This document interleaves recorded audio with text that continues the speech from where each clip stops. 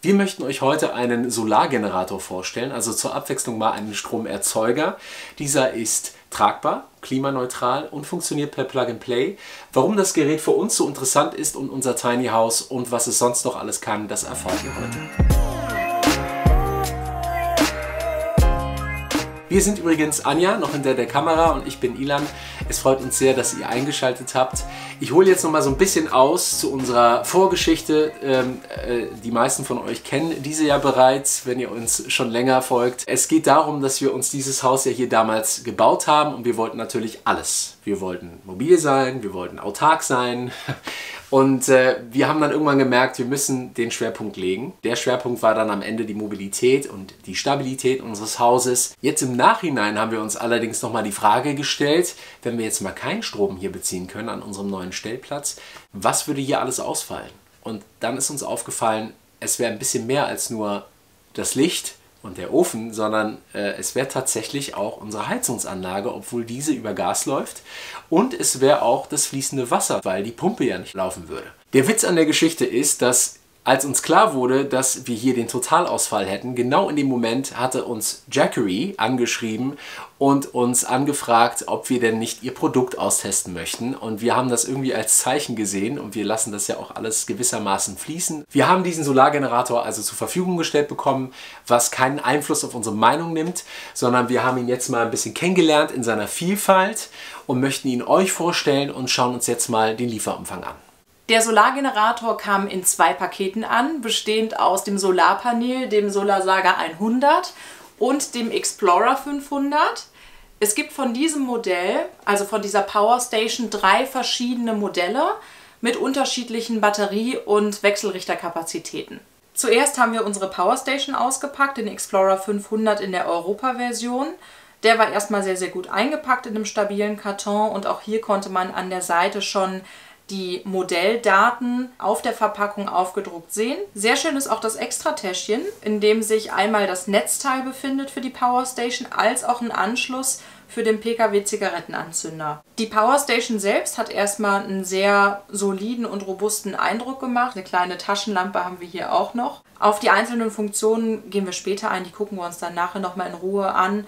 Was außerdem noch in der Verpackung war, war natürlich einmal die Bedienungsanleitung mit verschiedenen Sprachen, also in Deutsch, Englisch, Französisch, Spanisch und Italienisch. Die Powerstation wiegt 6,4 Kilo, hat Maße von 30 cm x 19,3 x 24,2.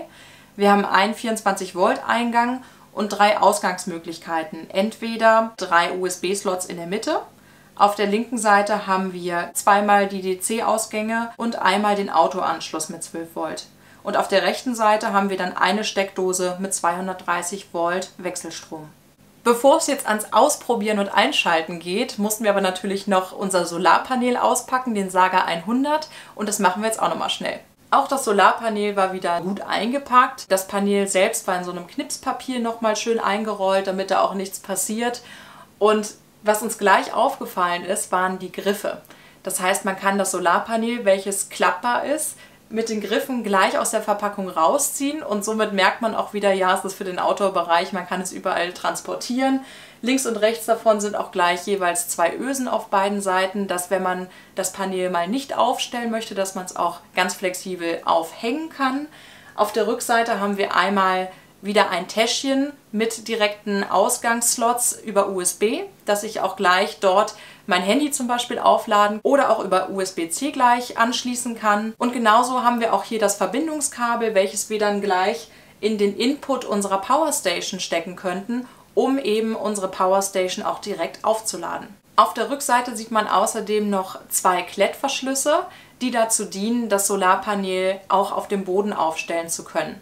Im gefalteten Zustand sind die Maße des Solarpanels 61 x 53,5 x 3,5 cm und wenn es entfaltet ist, sind es 122 x 53,5 x 2 cm.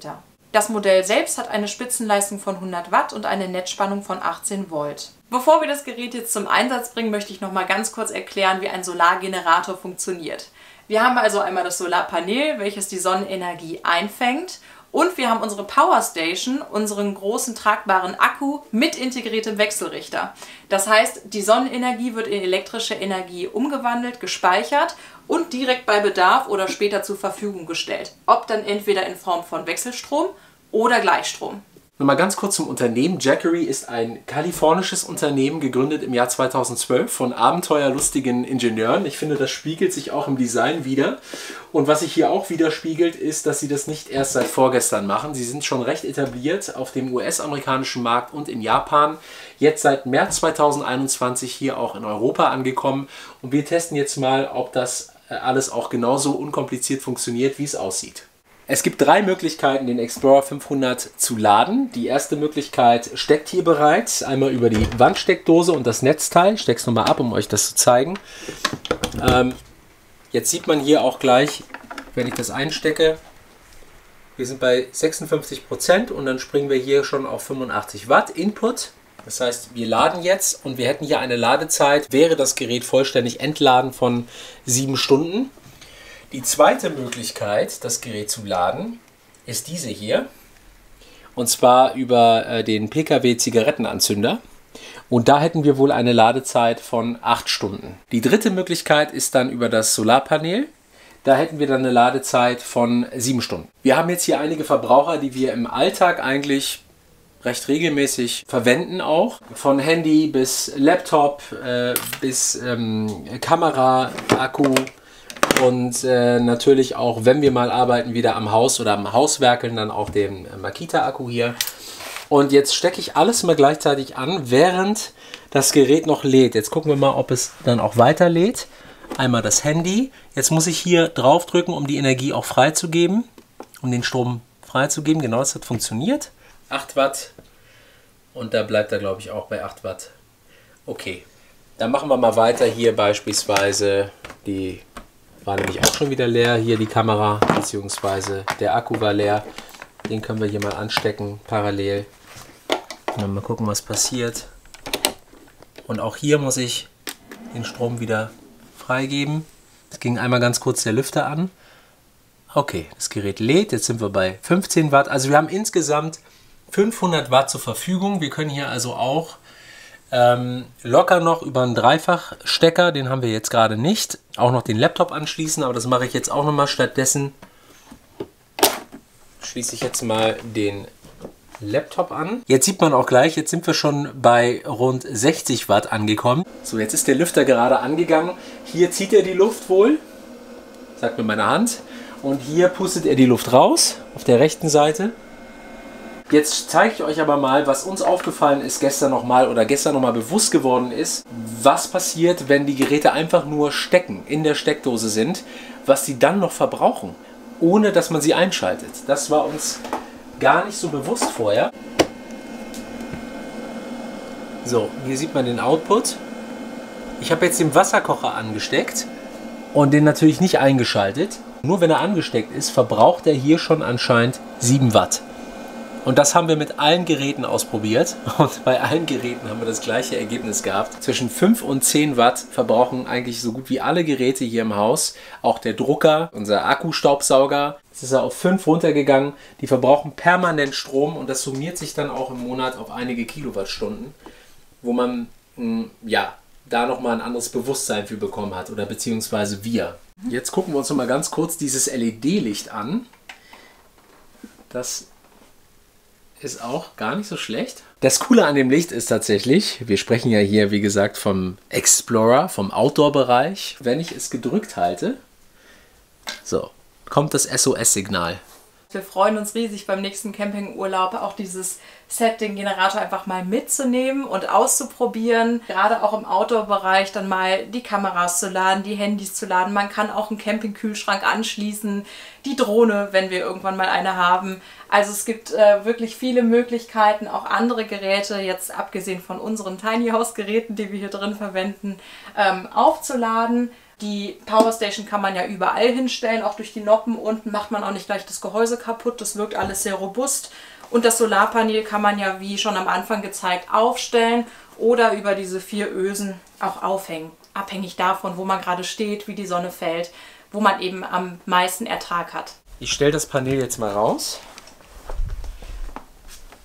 dass wir mal keinen Schatten haben. Ja, auf unsere Treppe. Hier angelehnt an unser Haus. Jetzt produzieren wir nicht nur 6 Watt, sondern schon 26. Das heißt, du könntest jetzt dein Handy auch noch anschließen.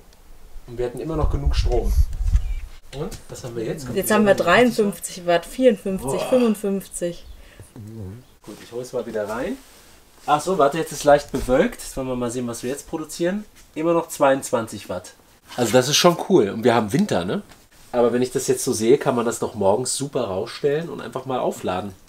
Also. Jetzt kommt sie wieder raus. Boah, sind wir bei 60 Watt. Jetzt machen wir einen Test, auf den wir uns schon eine ganze Weile freuen. Ne?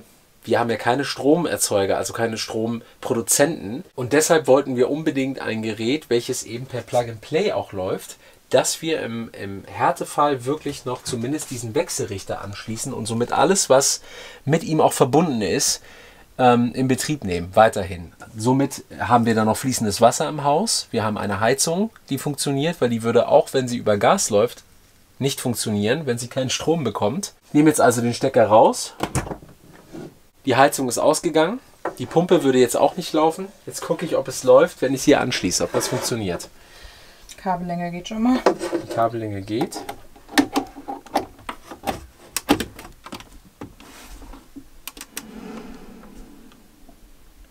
Funktioniert. Guck mal. Eine läuft. 14 Mal. So, jetzt warte, jetzt gucken wir mal, was passiert, wenn wir, wenn wir das Wasser, das Wasser andrehen. Bereit? Mhm. Und? 76 Watt. Aber sie läuft. Sie läuft. 75 Watt. 89 Watt. 89 ist hochgegangen? Sogar auf 90 ist kurz hochgegangen. Aber es geht. Also wenn wir jetzt duschen würden.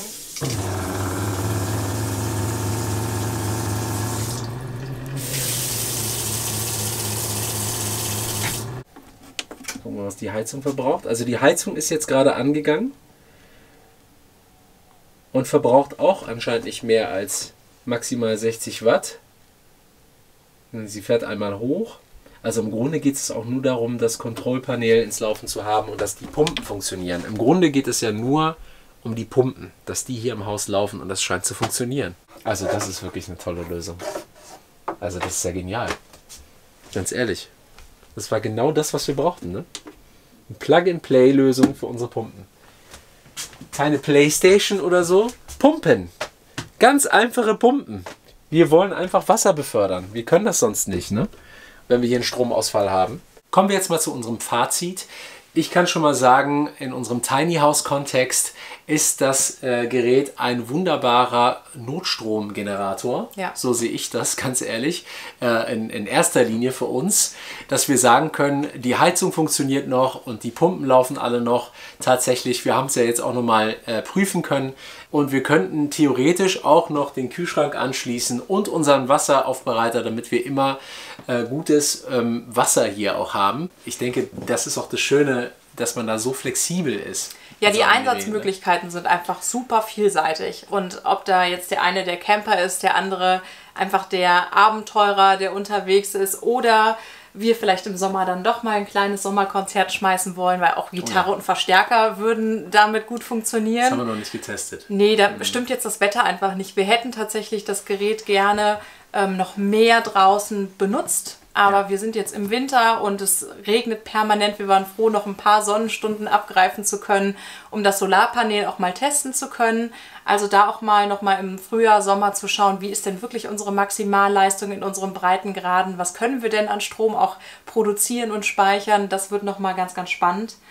Ähm, ich ja. hatte sowas auch noch nie. Also es, es, es war sehr intuitiv alles ähm, hat Spaß gemacht. Es hat ja. wirklich Spaß gemacht, das, ja. das, das, das Teil zu verwenden. Kann man nicht anders sagen. Es hat mir wirklich Spaß gemacht zu sehen, aha, wie viel Strom geht rein, wie viel Strom geht raus. Jetzt nähern wir uns ja auch Weihnachten. Das heißt, falls ihr noch auf der Suche nach Weihnachtsgeschenken seid oder glaubt, das Gerät könnte auch euch oder ähm, die Freizeit, das Leben eurer Freunde oder Familie bereichern, wir packen euch unten in die Infobox die Links rein, dass ihr weitere Infos zum Jackery Explorer 500 oder auch zu den anderen Modellen bekommt. Und es gibt eine Weihnachtsaktion bis 25%.